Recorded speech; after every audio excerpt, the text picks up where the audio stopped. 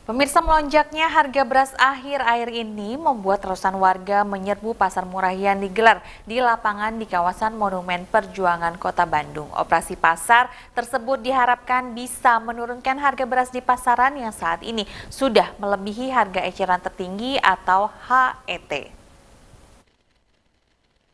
Ratusan warga Kecamatan Coblong antri untuk membeli beras murah di lapangan kawasan Monumen Perjuangan Kota Bandung.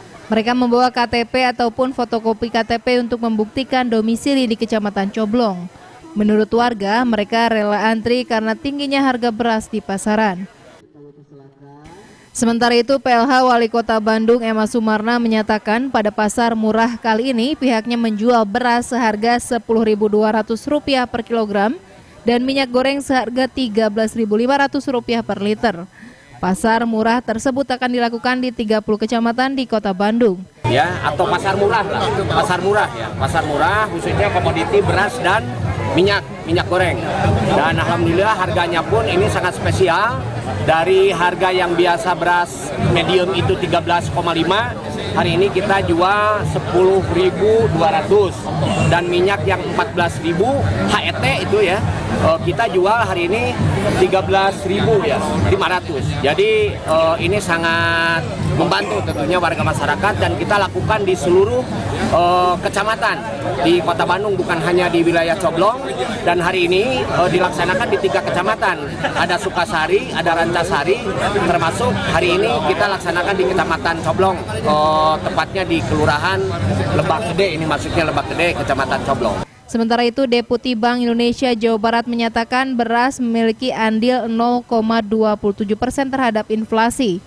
Karenanya gelar pasar murah dilakukan untuk membuktikan persediaan beras benar-benar ada gerakan nasional pengendalian inflasi pangan itu kan ada tujuh hal. Salah satunya adalah operasi pasar dan gerakan pangan, gelar pangan murah untuk menjaga daya beli. Kenapa? Makanya ada operasi pasar murah ini itu untuk menjaga daya beli masyarakat yang kurang beruntung. Kita lihat dari data dua bulan terakhir itu data beras yang naik.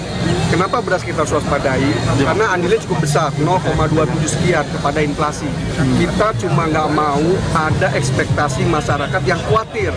Wah stoknya nggak ada, mereka berebutan terus mencari permintaan panik buying panik buying itu yang kita mau nggak kita tunjukkan pemerintah ada barang ada sementara itu Pinwil Bulog Jawa Barat Atta Rizal menyatakan ada 133 ribu ton persediaan beras untuk sejauh barat, khusus kota Bandung ada 15 ribu ton beras. Selain itu, bantuan pangan dari pemerintah pusat pun sedang berjalan.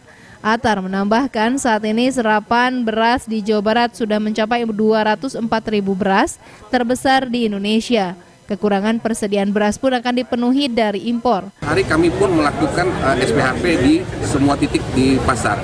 Ada 1038 titik seluruh Jabar, toko, toko di pasar ada 135 uh, eh, pasar yang kita backup. Nah ini uh, salah satunya bentuknya adalah pasar uh, operasi pasar yang diadakan oleh pemerintah kota. Jadi nggak usah khawatir, Bapang juga lagi jalan. Bantuan pangan untuk 41 ribu per alokasi lagi jalan. Jadi semua sasaran saya rasa sudah kena. Selasa 19 September 2023 disediakan 10 ton beras untuk pasar murah di lapangan Monumen Perjuangan Kota Bandung. Tiap warga bisa membeli 10 kg beras dan 1 liter minyak goreng. Budi Hartati, Bandung TV